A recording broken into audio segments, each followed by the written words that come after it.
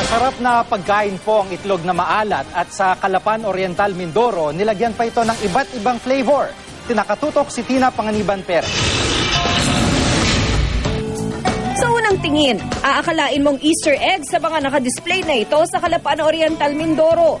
Pero ang paborito nating maalat na itlog, may kakaibang sorpresa pala. May cheese flavor, honey, garlic at adobo.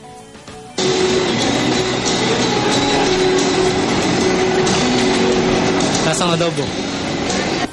Simple lang naman daw ang paggawa ng flavored salted eggs.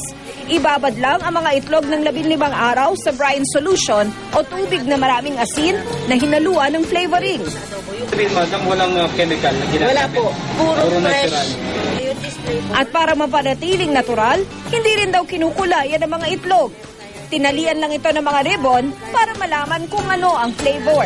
Ang flavored salted eggs ay isa sa apat na nanalo sa Regional Invention Contest and Exhibits or RICE ng DOST Region 4B.